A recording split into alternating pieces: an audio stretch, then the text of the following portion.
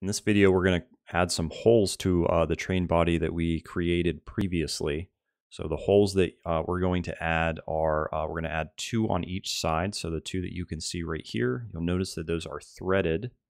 And then the three on the front, we have also have this cutaway here on the side as well. And then if you flip over, there is one on the back. So we're going to add all of that here. So I'm going to flip over to another design file that we did last time that just had the body. Okay, and I'm going to create a sketch on this side right here. So we're going to start by adding a circle for the, the cutaway that you see right here. So I'm going to flip over to the drawing. And that cutaway, you'll notice, is uh, a circle. And again, the radius is uh, 0.5. Remember, we need to double that. So uh, we'll need to add a circle of uh, a diameter of 1. So I'll click circle. And I'll just place it roughly here. And then we'll just type 1. And let's look back and get the other dimensions for that circle. So from the right hand side, uh, that is dimensioned in uh, to 0.25. And then from the bottom, it is 1.75. So go up to our dimension tool. So the right hand side, we said that was 0.25. And then from the bottom, we said that was 1.75.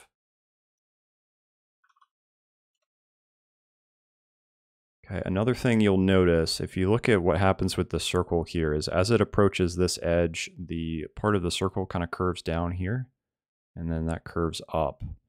But if you look closely at the drawing, notice those are straightened here at the top and at the bottom. So it looks like they added lines to make it straighten out from the very top, like midpoint and the bottom point of the circle. So we'll add some lines that do the same thing.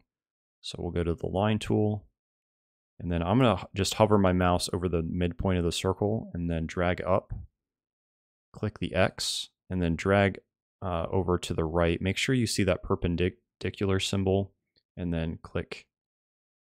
And then we'll do the same thing on the bottom.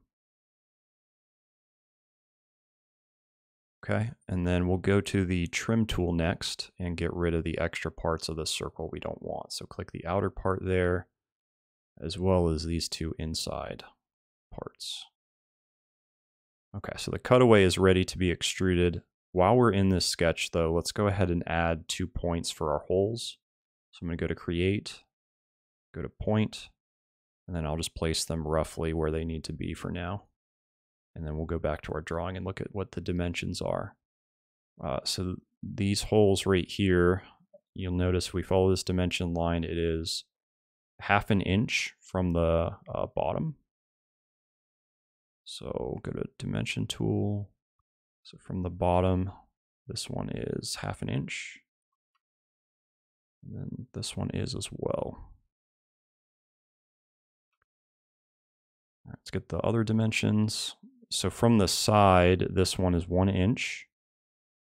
And then this one is four and a half from the right side.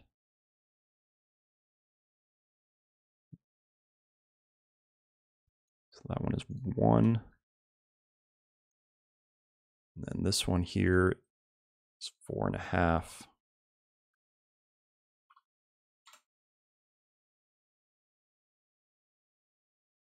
And we are ready to finish this sketch, so I'll click finish. And we'll start by extruding this part. So I'll click extrude, click that profile, change the operation to cut, and then under extent type, I'll just change it to all so it goes all the way through and then click OK.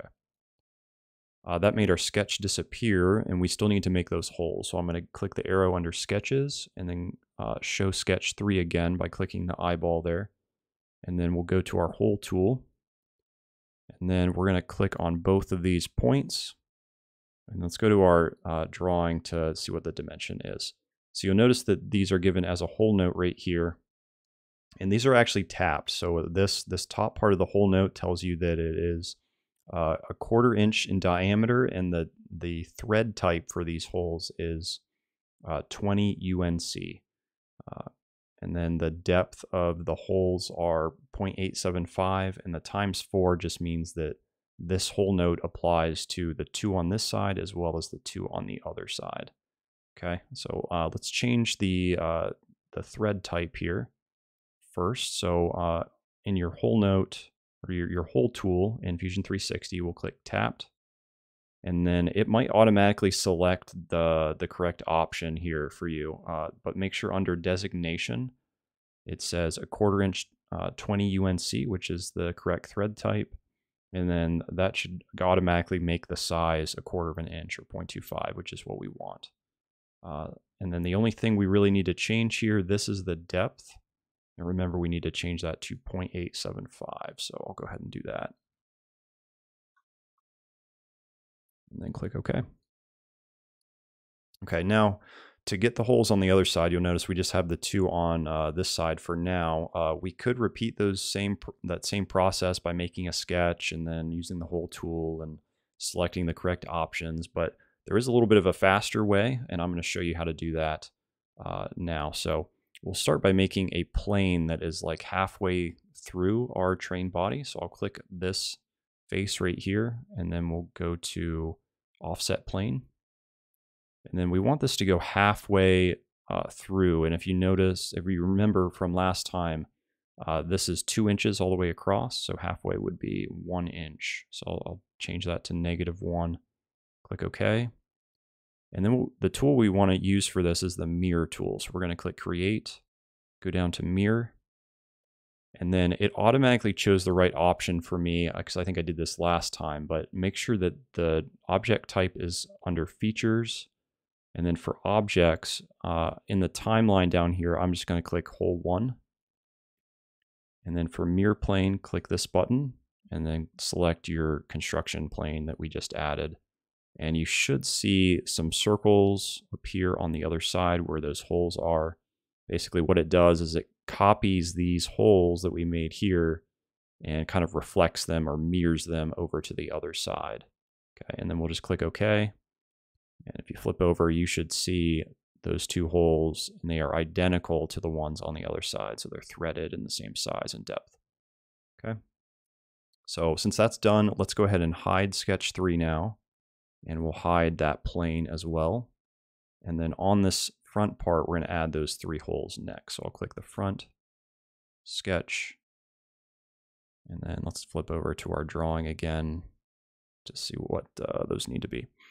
So these three holes, the ones on the bottom we'll do first. So from the bottom line, it is 0.125, and then they are each 0.375 from the outer edges. So we'll go up to create, point,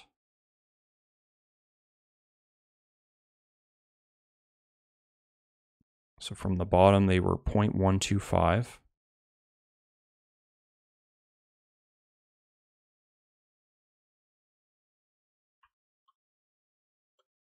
And then from their outer edges, it was 0.375.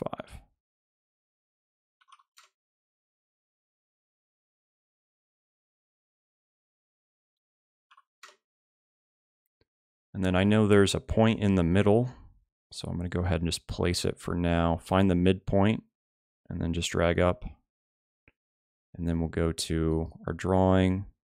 So that needs to be placed 0.625 from the bottom.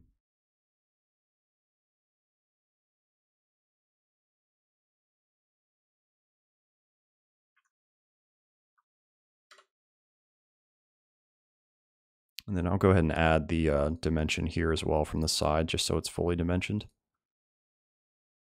And click Finish. And then we'll go to our hole tool, select these three. It's going to automatically select the same options we used last time. Uh, let's go back to the drawing and figure out what size these need to be. So in this hole note right down here, we can see that they are 0.125 for both the diameter and the depth.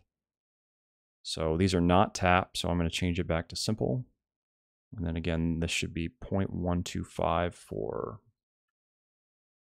both depth and diameter. Okay, and then click OK. So those three holes are done now. And then I'm going to flip to the back. This back one will be a little bit easier because we have a sketch that we made in our first uh, video uh, that will help us for this. So I'm going to click the eyeball on sketch one. And you'll notice we still have this point right here. and we're just going to use the hole tool to create that hole in the back. So I'll flip over to the drawing to see what dimension that is, and that's in the top part here. So we can see the diameter is 0.25 and the depth is 0.5. So the depth was 0.5, diameter was 0.25, and then we will click OK. And that is most of the holes. I'm going to go ahead and hide the first sketch now.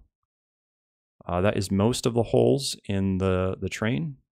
Uh, in the last video that we'll do uh, after this, we will add the hole up here on the top of this, which is where the stack connects. And we'll also fillet all of the edges going around the train body.